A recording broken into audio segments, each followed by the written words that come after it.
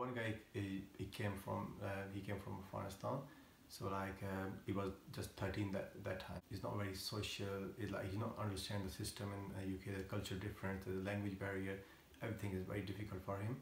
And so when he came here he's not like uh, you know talk too much with people I he's think not he, friendly he was comfortable with you because he could see a bit more. yeah you know because Yeah, we, we, was- we bas- basically we like uh, we spoke the same language Yeah. so like he's very comfortable he come to me and ask me about Yeah, he used to ask him about like- things. Is that how like, this happens? Is that why this happens? Yeah, and and because you know, you know they're like, quite yeah, similar. you, you want to be very quickly. Everything is, you know, is going like.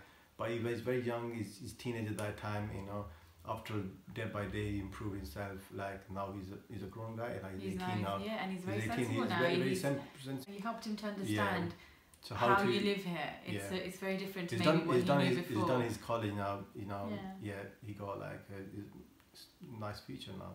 We, we feel we feel so good and like you know, if we change someone's life, uh, we we got opportunity. We give her like you know, provide the right atmosphere, positive things. Yeah. So yeah, they feel great. So that's very good. It's, you know what I'm saying? It's very rewarding. you know, you want everyone to come out and be confident. Sometimes they don't become confident, but that's fine as long as he's happy. And he at the moment he's he's still quite introvert, but that's how he wants to be. But he, you know, that's fine.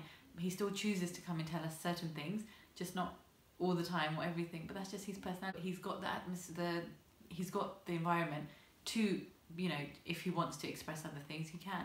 It's just that he sometimes, you know, some children don't want to, and that's also fine. So. Um, so yeah, we can make a really big uh, difference in someone's lives just by showing them what a normal life is, a normal routine is, and they pick up a lot more than you would think.